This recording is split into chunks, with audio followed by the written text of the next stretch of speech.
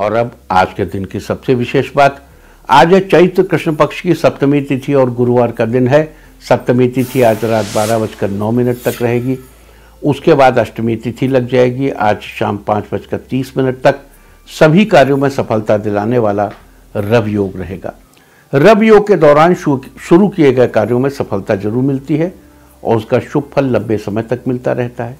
साथ ही आज शाम पाँच बजकर तीस मिनट तक ज्येष्ठा नक्षत्र रहेगा। आकाशमंडल में स्थित कुल सत्ताईस नक्षत्र नौ नौ की संख्याओं में तीन श्रृंखला में बटे हुए हैं, जिसमें से पहली श्रृंखला की शुरुआत अश्विनी नक्षत्र से होती है, जबकि नौ नक्षत्रों की दूसरी श्रृंखला का अंत ज्येष्ठा नक्षत्र पर होता है। आकाशमंडल में गिनती के आधार पर ज्येष्ठा अठारहवा नक्षत्र है। ज्येष्ठा का अर्थ होता है बड़ा, साथ ही ताबीज को ज्येष्ठा नक्षत्र का प्रतीक चिन्ह माना जाता है। ताबीज को सामान्यतः लोग किसी तरह की नेगेटिविटी से अपनी रक्षा के लिए पहनते हैं।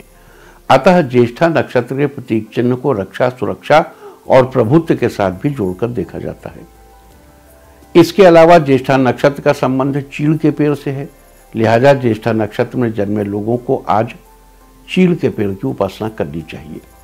आज के दिन ऐसा करने से आपको शुभ फलों की प्राप्ति होगी। इसके अलावा आज दोपहर एक बजकर तेरह मिनट तक स्वर्गलोक की भद्रा रहेगी। बता दूँ कि स्वर्गलोक की भद्रा का पृथ्वीलोक पर कोई अशुभ प्रभाव नहीं होता।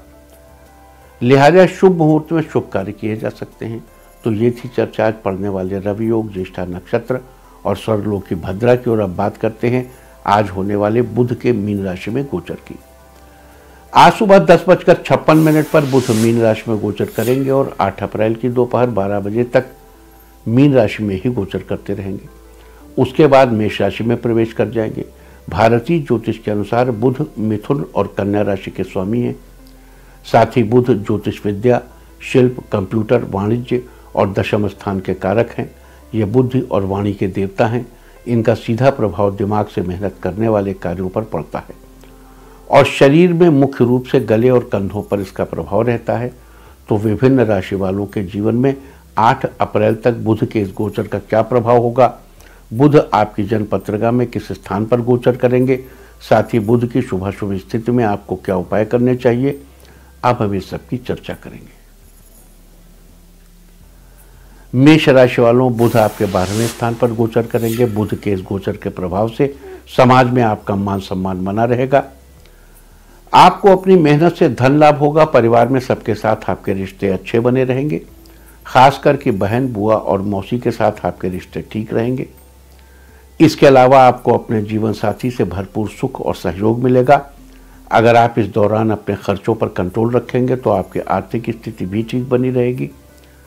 अतः 8 अप्रैल तक अपनी आर्थिक स्थिति को ठीक बनाए रखने के लिए और जीवन साथी का सुख पाने के लिए मंदिर में मिट्टी का घड़ा दान करें। वृक्ष राशि वालों, बुध आपके ग्यारहवें स्थान पर गोचर करेंगे। बुध के इस गोचर के प्रभाव से आपकी इच्छाएँ पूरी होती नज़र आएँगी। आपके इनकम सोर्स बेहतर बने रहेंगे, आपकी सैलरी में बढ़ोतरी हो सकती है, आपकी संतान पढ़ाई लिखाई के मामले में आगे रहेगी। आठ अप्रैल तक आप अपने हर कार्य में निपुण होंगे। हालाँकि इस बीच आप थोड़े शर्मिले स्वभाव के भी रहेंगे। लिहाजा आठ अप्रैल तक बुध की शुभ स्थिति का लाभ उठाने के लिए माँ दुर्गा की उपासना करें। मिथुन राशि वालों, बुध आपके दसवें स्थान पर गोचर करेंगे। बुध के इस गोचर के प्रभाव से आप मन लगाकर अपना काम पूरा करेंगे। आपके चेहरे पर हमेशा एक खुशी बनी रहेगी। करियर में आगे बढ़ने के लिए आपको कई मौके मिल सकते हैं। बस उन मौक़ों से फ़ायदा उठाना आपके हाथ में है। इससे आपकी आर्थिक स्थिति भी अच्छी होगी, साथ ही आपके टैलेंट में बढ़ोतरी होगी। आपके व्यवहार से लोग खुश रहेंगे। लिहाजा 8 अप्रैल तक बुध की शुभ स्थिति सुनिश्चित करने के लिए आपको सिद्ध कुंज का स्त्रोत्र का पाठ करना चाहिए। कर्क राशि वालों, बुध आपके नवे स्थान पर गोचर करेंगे। बुध के इस गोचर के प्रभाव से आपको भाग्य का उतना साथ नहीं मिल पाएगा जितना आप सोच रहे हैं। इसलिए आपको आगे बढ़ने के लिए लगातार मेहनत करने की ज़रूरत है। संतान के मामले में किसी प्रकार की परेशानी सामने आ सकती है। आपको इस दौरान किसी से किए गए वायदों को पूरा ज़रूर करना चाहिए। साथ ही 8 अप्रैल तक बुध के शुभ फल पाने के लिए और अशुभ स्थितियों से बचने के लिए आपको हरे रंग की चीज़ों को उपयोग में लाने से बचना चाहिए। सिंह राशि वालों, बुध आपके आठवें स्थान पर गोचर करेंगे। बुध के इस गोचर के प्रभाव से आपको अपने काम पूरे करने के लिए अधिक मेहनत करनी पड़ेगी। आपको अपनी सेहत का ख्याल रखना चाहिए, साथ ही अपनी माता और संतान की सेहत का भी ख्याल रखना चाहिए। इस दौरान उनके स्वास्थ्य में कुछ गिरावट आ सकती है और पैसों के मामले में भी स्थिति कुछ ज़्यादा ठीक नहीं रहेगी। लिहाजा 8 अप्रैल तक अपनी स्थिति और सेहत को बेहतर बनाने के लिए छोटे से मिट्टी के बर्तन में थोड़ा सा शहद भरकर उसे ढक कर कहीं वीराने में दबा दें।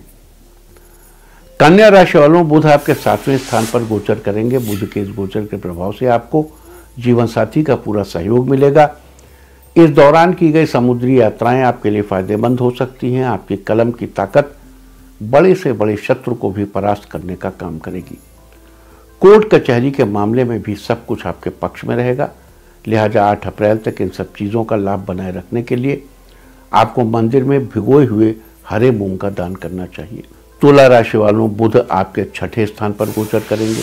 बुध के इस गोचर के प्रभाव से आपको 8 अप्रैल तक किसी चीज़ के प्रति अधिक लालच हो सकता है। आपको इससे बचना चाहिए। साथ ही माता के स्वास्थ्य को लेकर थोड़ा सतर्क रहना चाहिए।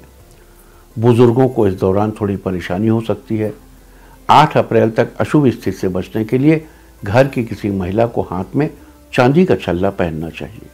वृश्चिक राशि वालों बुध आपके पाँचवें स्थान पर गोचर करेंगे। बुध के इस गोचर के प्रभाव से आप हमेशा प्रसन्न दिखाई देंगे। आपके मुँह से निकली हुई बातें दूसरों के लिए बहुत ही प्रभावशाली होंगी। समाज में आपका सम्मान बढ़ेगा, आपके परिवार में वृद्धि होगी, आपको धन लाभ होगा। अगर आपने घर में गाय पाल रखी है तो बुध का ये गोचर आपके साथ ही आपकी संतान और जीवन साथी के लिए भी काफ़ी अच्छा रहेगा। आपको इस दौरान किसी पैतृक संपत्ति से लाभ मिल सकता है।